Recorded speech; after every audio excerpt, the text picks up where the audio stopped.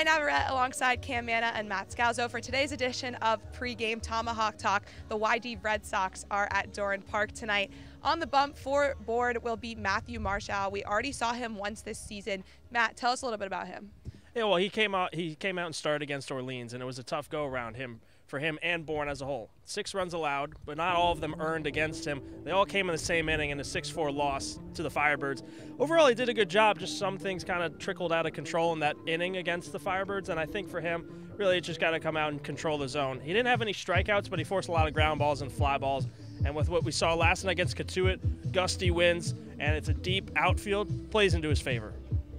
Now, there are some new faces in the Bourne lineup today. Cam, tell us about Gage Harrelson and Bryce Eblin. Yes, we'll start with Gage out of Texas Tech, a really good freshman season. Batted 320, 45 RBIs. He's going to bat first tonight. A lot of speed on the base pass. Actually, almost batted 500 in his high school season. And Bryce Eblin, the Bravos fans know him, 2022 playoff MVP, a guy that's going to bring leadership for this team at the shortstop position. So, two must gets for the Bravos. Completely. And obviously, you know, last night the team really struggled with hitting Matt. What can kind of right those wrongs today?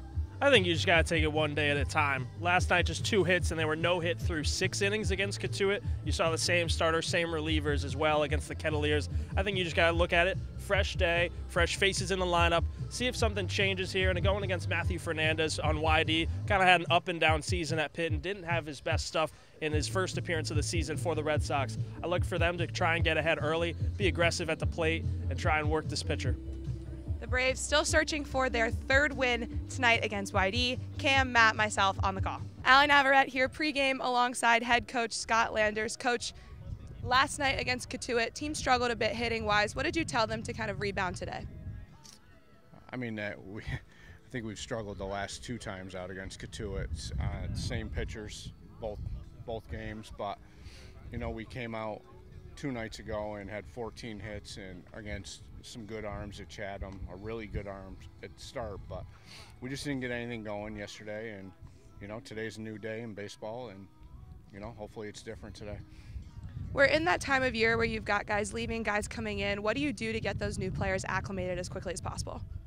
Oh man, it's it's day by day, but you got to get them in here and, and talk with them and just get them going back in the swing of things. You know, they've been home for a week or two, so we got to get them back on the field and get them up to speed, but we're going to have to do it on the run. So it's good to have some new faces in here. We're going to miss the, the other guys, but, you know, now it's go time. I wanted to ask about one new face in particular because he's not actually that new. He was your playoff MVP last season, Bryce Eblin. He's back. What went into getting him back to Bourne? Not much. um, you know, Bryce is a great kid. He, loved it here last year, and you know, he didn't. I don't think he had quite the year he wanted to at Alabama. He had some injuries, and you know, he just wanted to come back and, and show what he's capable of. Um, you know, and we would love to have him back. And YD, a really hot team right now. What are you doing to kind of prepare for this matchup? I think it's the same every day. You know, just come and, and do what we're supposed to do. But you know, at the end of the day, we've lost a lot of close games, and we got to get on the other end of that. And hopefully, it starts today. But you know, YD's no different than the other guys. Um, and everybody's in the same boat. Guys are coming in, guys are leaving. Um, so some of the stats don't really mean much. We just got to go and play our game and figure our guys out. Good luck today. Thank you. Thank you.